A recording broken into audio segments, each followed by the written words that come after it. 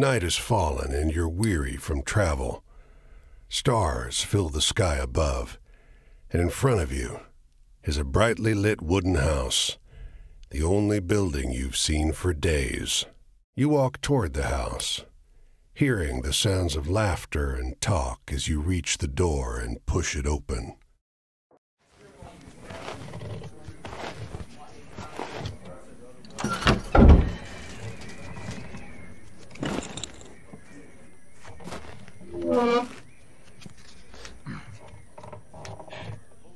You sit down and join the game.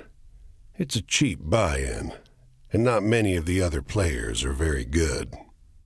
The lady fiddling with dice gets good cards, but has no real strategy.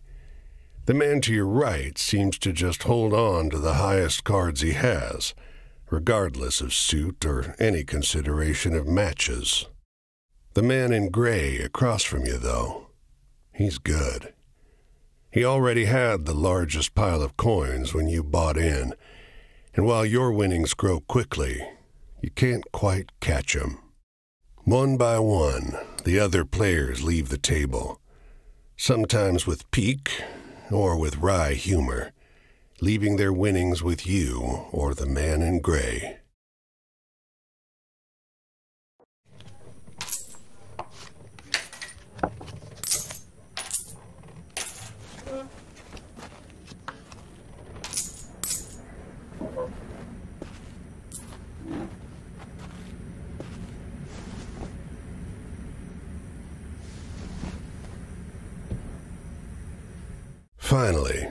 It's just you and the man in gray.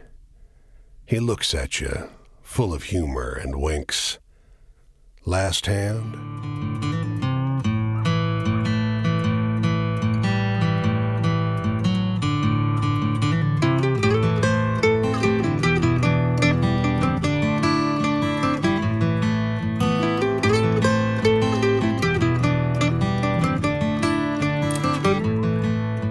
Come every year, you know.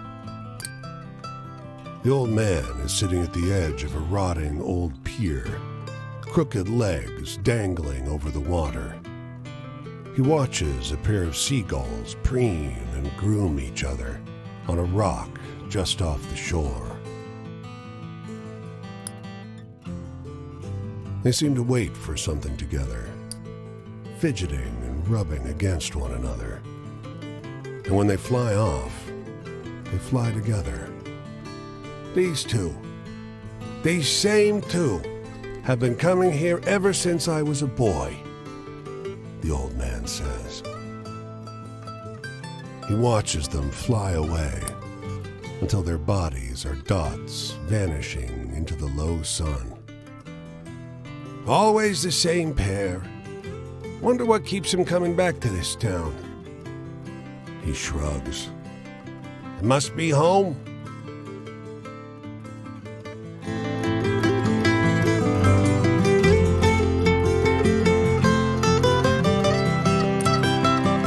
A woman walks the small town square with the poise of Bette Davis. The confident stride and inimitable mannerisms elevating the sidewalk into a plush Hollywood carpet. Wrapped around her neck, a yellow velvet ribbon, bright as an ocean sunrise. You question a well dressed man parked outside an oyster house. Prudish woman. I took her on a fine date and she didn't remove so much as a ribbon. Excuse me, can you step back from the coop? That's the spirit. You decide to seek a second opinion. You talk with a waitress smoking outside a diner. Something funny about her. Just showed up one day. Doesn't work, doesn't live anywhere, as far as I know. Just around. Myself, I'd love to know who made all her beautiful clothes. You ask the woman if you may join her at a public bench. You may. Lovely outside, isn't it?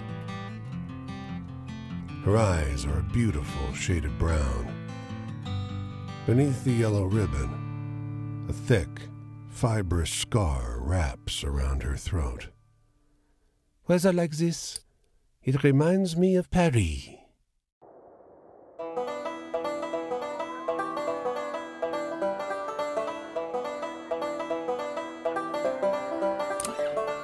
You can see storm clouds on the horizon, and you don't relish the thought of being caught wandering this rocky seaside road in the rain. Fortunately, you find the lighthouse door open with a daunting staircase before you. At the top of an ornate wrought iron spiral, you're breathless and feeling the strain on your knees. Rain already batters the walls outside. You can only knock on a heavy wooden door leading into the upper level. Muffled voices and light seep in beneath the door. Looks like we got a visitor. Sounds like a man's voice, deep and rough. Well, behave yourself. I'll open the door. Another man, this one with a higher, more sonorous voice. I always behave myself. He feigns indignation, but his tone betrays affection instead. After a moment, the door unlatches from the inside and opens. The man before you is tall and muscular, with a hint of a paunch beneath his wide chest. The heavy iron knob on the door looks nearly dainty in his huge hand. Despite the rough exterior, this room looks like a well-appointed parlor. There's a rug on the well-trod wooden floor. A few years. The tall one sits on the sofa, wrapping his arm casually. You wake up the next morning on their old sofa, still warm from an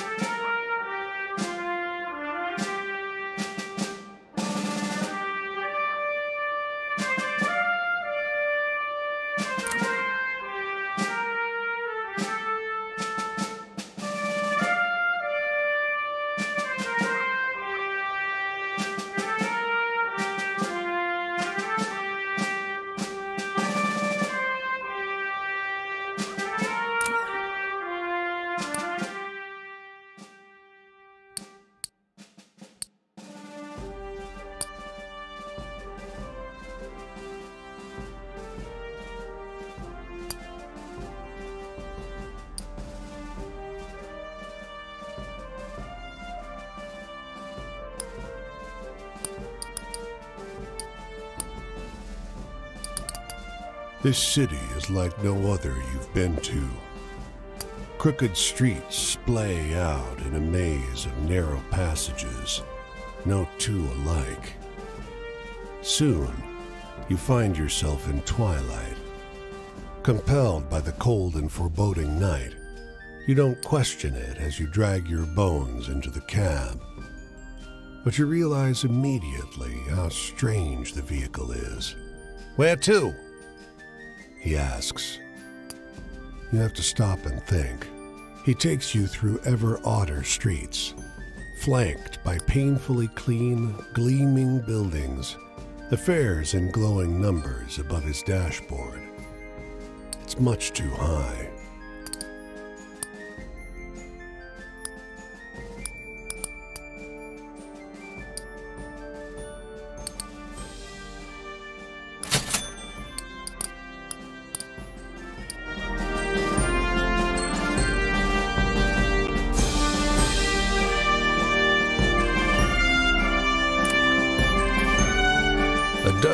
Truck and a man on horse. The man with the truck leaps into the street. Brother! Everyone here is watching these two older men cry and hug one another in the middle of the long lost brothers pose in front of traffic.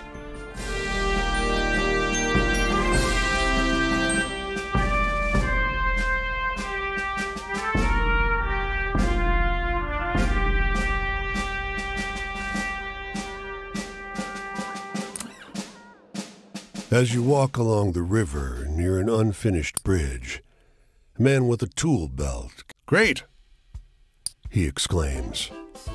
Suppose you'll want a safety belt.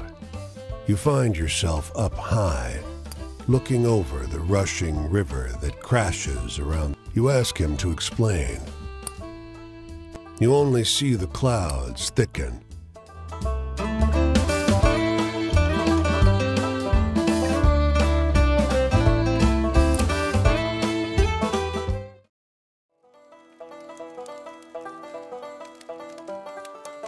Hey there, stranger. You're welcome to enjoy this fire with me, if you're respectful, that is. This here is my spot, and I ain't inclined to share it with any bad characters. You can call me Quinn. These here are my venturing companions. Cass is the big un, and the one with the spots is Flip.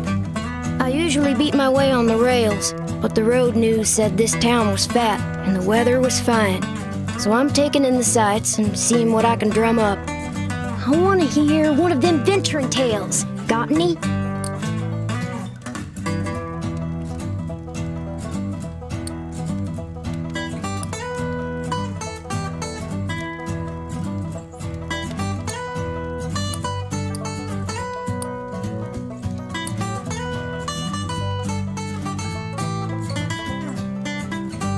What's the use in telling sweet, happy tales if in they make you snooze? Well, I don't know a whole lot about the past, but they say there's an Injun grave around these parts. Say it's haunted and full up with angry spirits. I used to love hearing stories of cowboys and Injuns fighting it up. Would swap tales with the youngins. But, well, I suppose if someone shot me, I'd be pretty vengeful too. Hey, do you got any really thrilling stories to tell? I'm hankering for one of those.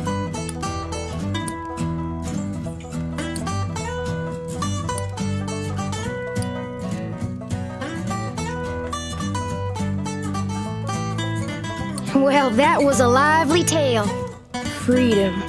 Well, teacher used to talk about freedom like America was eat up with it. But the tramping kind seems to be just about the only real freedom still in supply. Ain't no freedom from an empty stomach or bad weather, unless you're rich.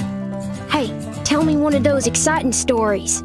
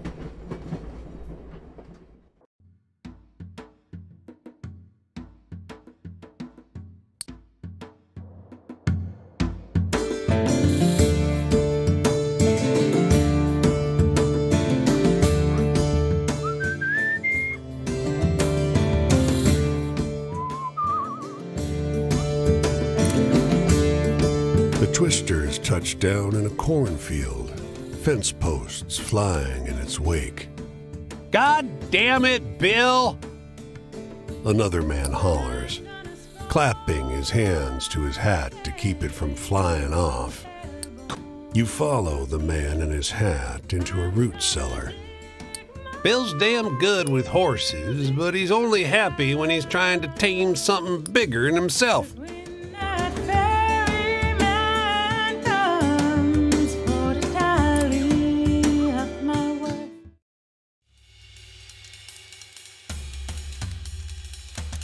I've met a lot of people like you on this road. There's something you want from it, isn't there? A desire that scratches and scrapes away at the sides of your body. Does being out here feed that part of you?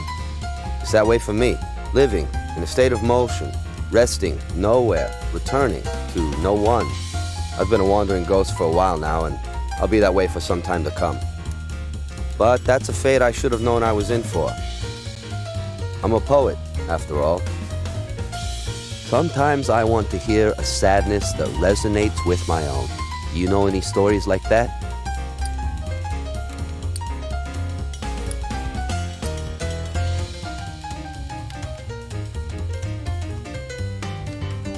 I don't think I'm in the intended audience for that joke. Faith. Hmm. You know the hardest person for anyone to have faith in? Is themselves.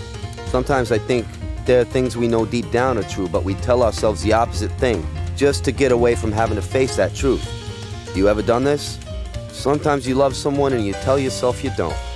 Sometimes you know something is right and you tell yourself it's wrong. You have to find some trust in yourself to understand it. Alone, out here. I spend too much time inside my own head. Can you tell me a hopeful story to light?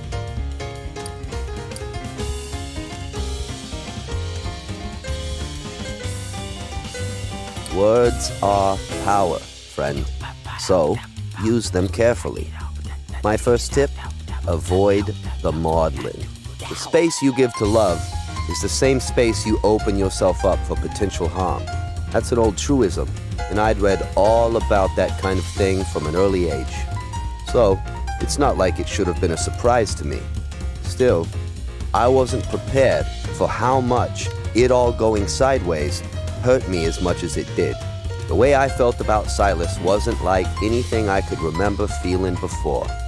The whiplash from that is why I'm out here by myself now. Sometimes I want to hear a sadness that resonates with my own.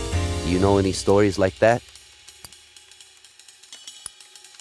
You're heading back out on the road? Well, good luck to you. Think about why you're out there, what you're looking for. Is it suffering that brought you here? Or is that what you're seeking? I'm taking myself and my thoughts down the road this way. It'll be a new place to see. Perhaps we'll cross paths again. I hope we do.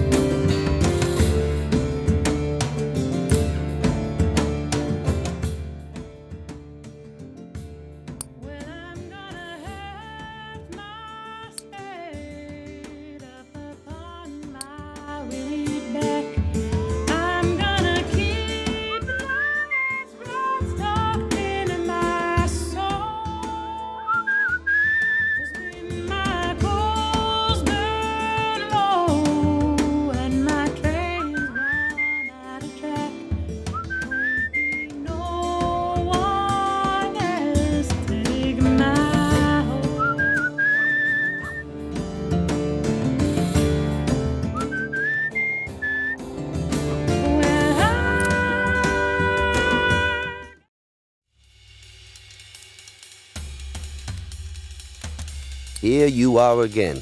Have you found what you're looking for? Do you even know what you're looking for? Track down that desire yet? I've been walking for a while, chasing desires of my own. Or running, maybe, from the things I've left behind. I need an optimistic story right now. Something to put a smile on my face. Can you think of any like that?